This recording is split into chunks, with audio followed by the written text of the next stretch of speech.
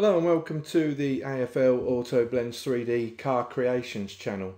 In this video I want to um, do a quick video, a quick tutorial of how to use um, an add-on called uh, Loop Tools.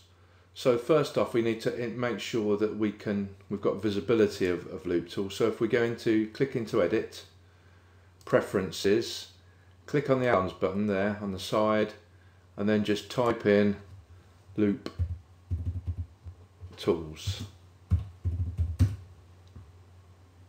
Now it's already um,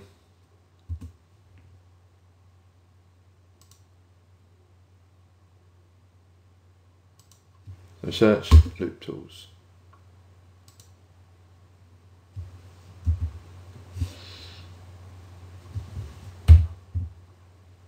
There we go, loop tools, and mine's already um, selected but if yours isn't selected click the little button there okay?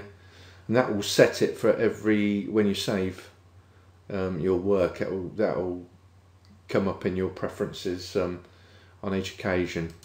Anyway so how to use this?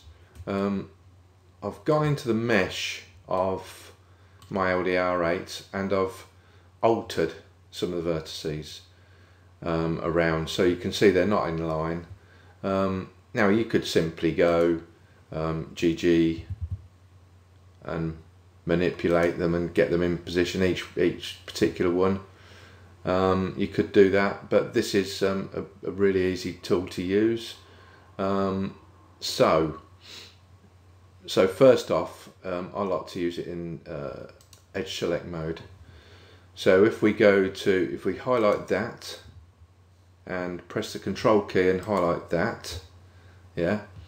Press the right mouse button and bring up there's loop tools there and go into loop tools right to the bottom and click space okay? We do that for each and every one.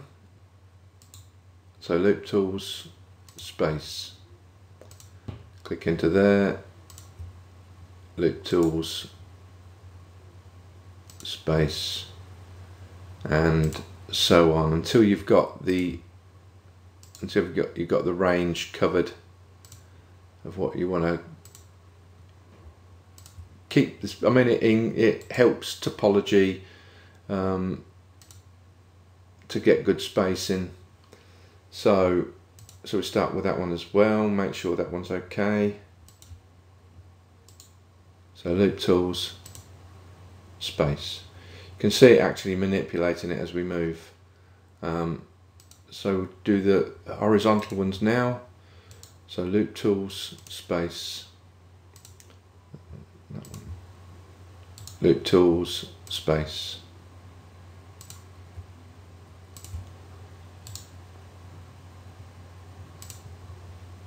And what this is doing is making your mesh clean and equal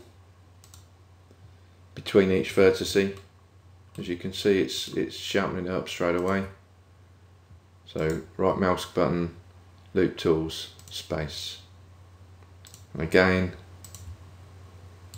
right mouse button space. And then that one loop tools space. I think we've only got a few more to do. So that that loop tools space. And this one loop tools space. There you go. So if you look you can see uh, in edge select mode or vertex select mode you've got equal number of spaces. So that was just a quick tutorial just to um, to introduce you to to loop tools and space. Um, hope you've enjoyed it. Um, if you've got any queries, message me in the comments in the comments below. Thank you.